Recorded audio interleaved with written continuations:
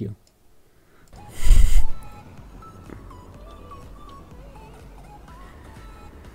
Äh, so, warte. Ach so. Ansehen. Äh, Gras einsammeln müssen wir.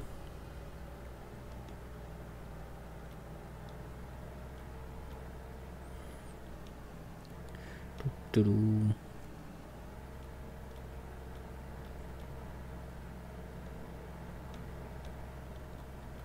Also ich muss sagen, der Audi läuft ziemlich gut und ist auch vom Lenkverhalten ziemlich gut.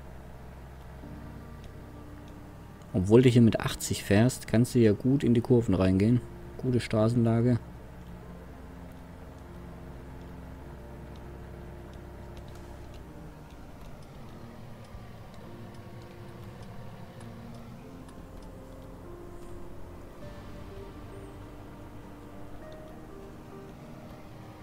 Wie, ist der jetzt schon fertig mit Mähen?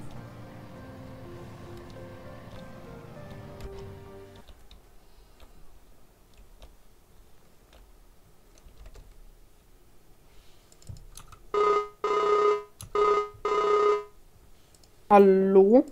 Jürgen, bist du schon fertig mit Säen, äh, mit, mit Ding, mit Mähen? Jo. Oh, ging ja flott. Okay. Dachte, du hättest den Ladewagen geholt. Nee, ich bin bei mir jetzt am Ansehen. Ah ja, okay, gut, dann äh, sammle ich mal weiter ein und gebe dir dann Bescheid, wie viel rauskommt. Jo, Gut, mach das. bis dann. Jo, ciao. Ciao.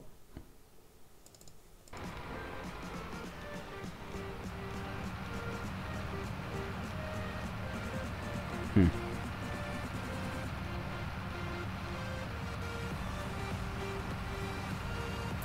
Du-du.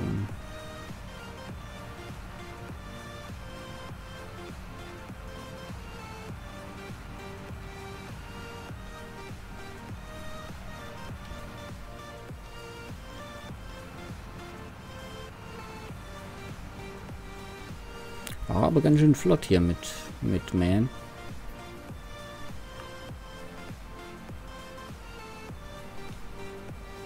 Ja, ich denke, pff, der kann sich mindestens eine Ladung abholen. So viel Gras brauche ich eigentlich auch gar nicht. Weiß gar nicht, wie viel ich überhaupt schon im Silo habe. 56.000.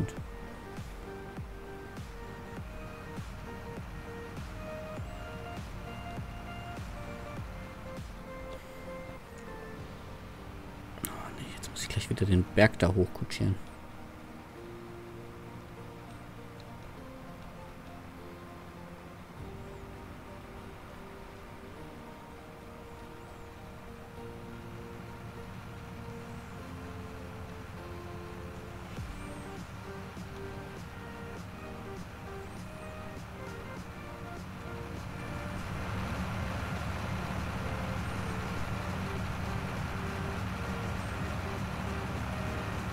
Der ist einfach nicht für diese Steigung und das Gewicht ausgelegt.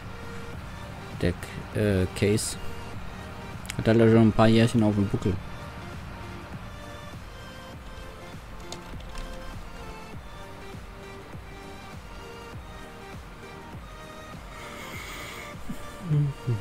Ich weiß gar nicht, hatte ich letztes Mal eine Sämaschine, einen Düngestreuer vom Ding ausgeliehen? Ich glaube schon.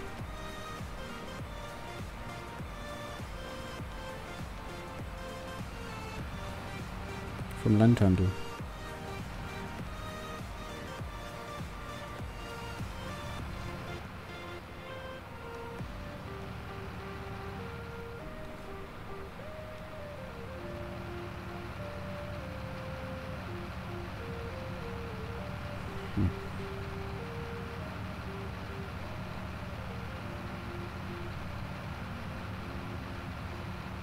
So, was uns natürlich auch zugute kommt, ist immer noch die Subventionierung durch den Peter Altmaier.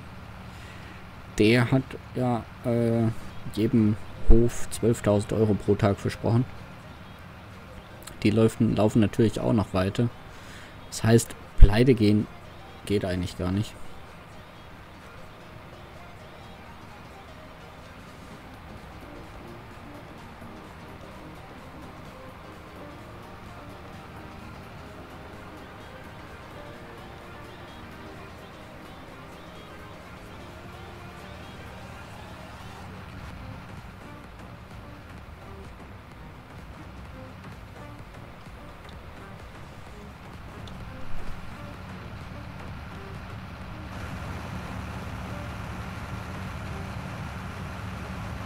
Jetzt hoffe ich nur, dass der hier hochkommt. Alter, mit 5 km. Ich hab doch schon ein Gewicht von drauf. Kriegt einfach keine Traktion.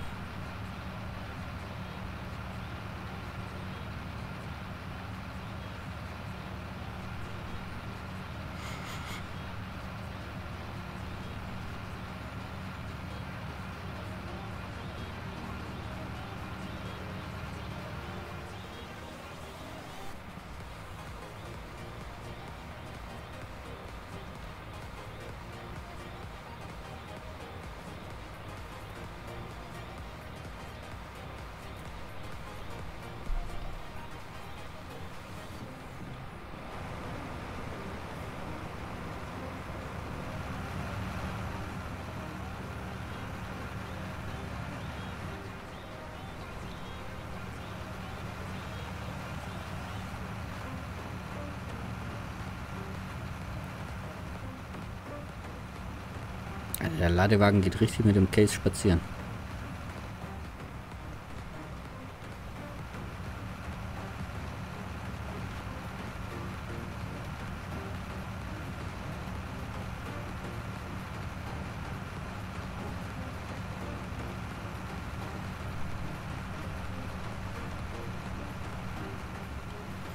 Hoffentlich passt da noch alles rein. Das wäre nämlich optimal.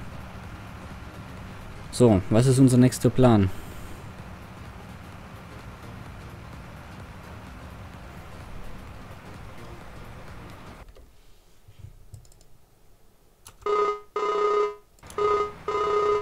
Hallo? Hallo Hans. Äh, ich habe trotzdem mal eine Frage an dich. Ist noch böse? Nein. Oh, das freut mich.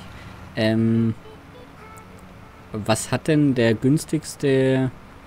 Nee, nicht der günstigste, oder doch? Der Joskin äh, Viehtransporter, was hat denn der gekostet? Oder was kostet der? 24.000. Ei, doch so viel. Jo. Okay. Gut. Ähm, was wir vielleicht noch machen müssten, ist bis nächste Woche, ähm, dass man vielleicht mal die Produktion abfährt und guckt, den Wert ermittelt. Was die denn kosten. Ja, das können wir machen, nachdem ich fertig gestimmt habe. Ja, also kannst ja auch irgendwann nebenbei machen. Müssen wir ja nicht alle mit. Einfach die Wertermittlung der, der Produktion. Von allen, gell? Das können wir zusammen machen. Warte mal, ich muss mal gerade gucken. Ähm, das wäre ja nur Sägewerk, Dieselherstellung.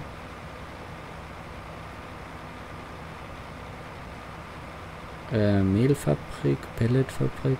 Okay, doch sind doch schon ein paar. Kirschplantage. Ne, Kirsch, Pellet, Mehl.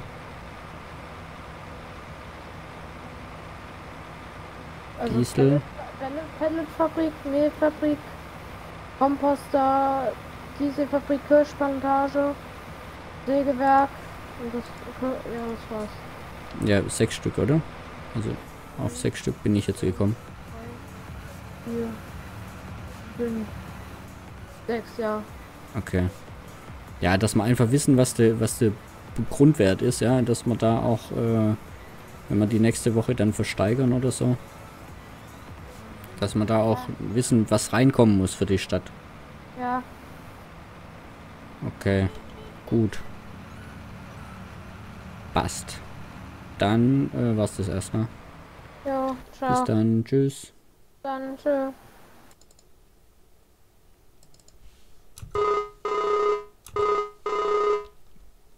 Ja, hallo? Hallo Jürgen. Äh, Hi. so, ich habe jetzt das Gras alles aufgesammelt. Der zweite Ladewagen ist fast voll. 55.000 nochmal. Also haben wir 111.000 gekriegt. Oh, das ist ordentlich. Ja, jetzt ist nur die Frage, was willst du haben, wie viel? Wie viel brauchst du denn?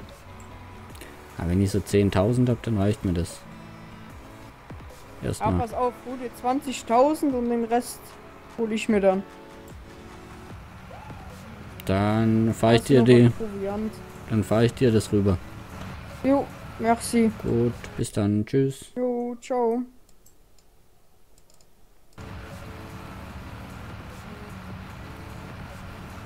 Okay, haben wir das auch geklärt.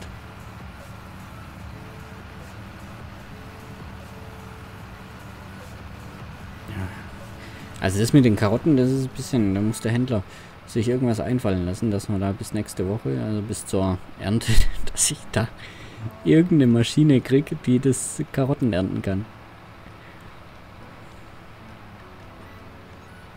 Äh, habe ich da nicht drauf geachtet. Ja, aber das denkt mir auch nicht, weißt Hast du ja Karotten am Start und kannst sie dann nicht ernten, weil der Händler nichts anbietet. Meine Herren.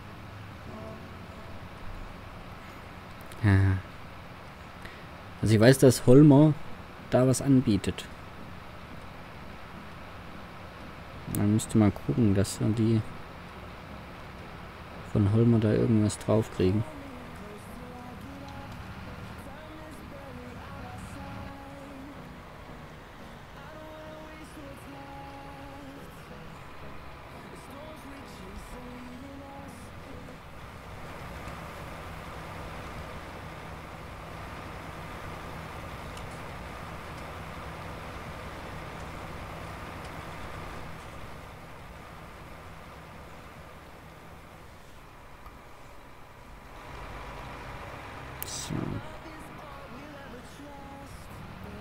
Fahre ich ihm das gerade nochmal.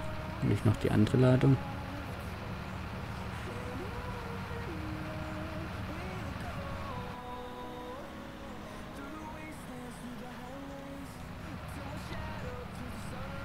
Dem sein Hund sitzt vor der, vor der, vor dem äh, Gehege.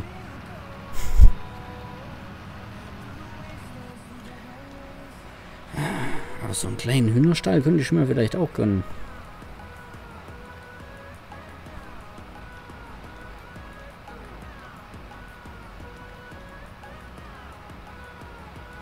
Mal gucken, wo ich den auch hinkriegen kann. Aber eigentlich würde ich schon eher noch mal ein bisschen mehr auf die Schafe gehen. Deshalb hätte ich eigentlich gern eher mir noch so einen Viehtransporter gleich gekauft. Dass wir da unabhängig sind. Sonst muss ich mir immer einen mieten. Das ist lästig.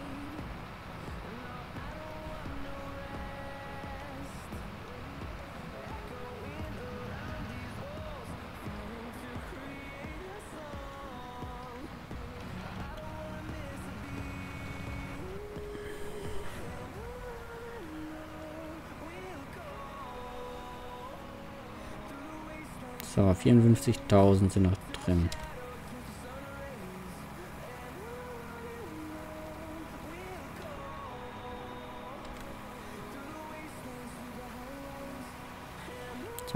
Soll ich drin lassen. Ich bin gut. Jedes Mal 10.000.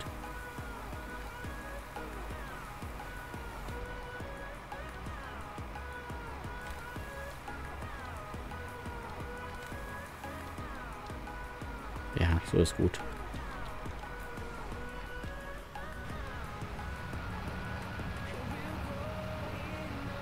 Gut, haben wir genügend Gras für unsere eigenen, für unsere Schäfchen.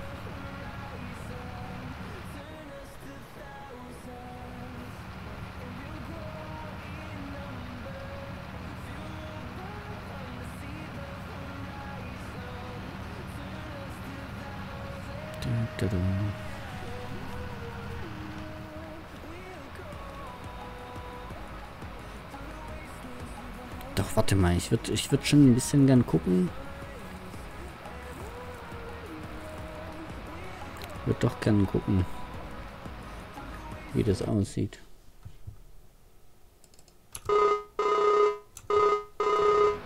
Ja, Hallo Hans. Ähm, jetzt habe ich mir das mit nochmal über durch den Kopf gehen lassen. hm. Ähm, können wir uns vielleicht doch treffen und die Produktion mal ein bisschen abfahren?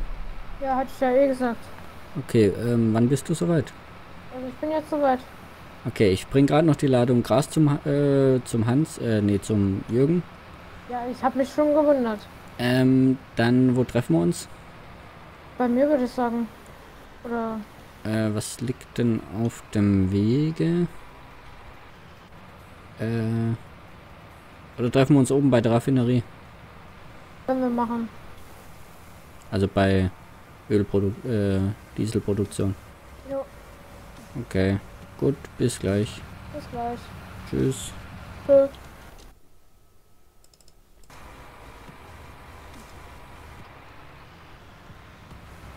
So, wo stelle ich jetzt das Ding hier hin?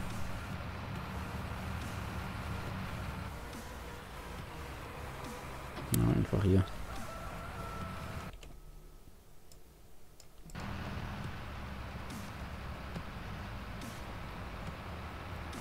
Gut. Weil dann... Okay.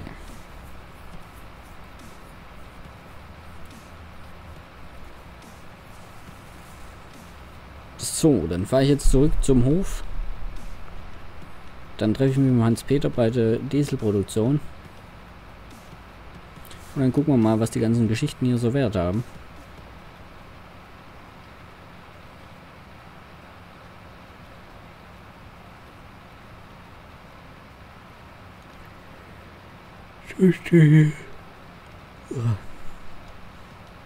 Mittagsschleifchen könnte man jetzt eigentlich machen. 3 Uhr. Wäre doch passend.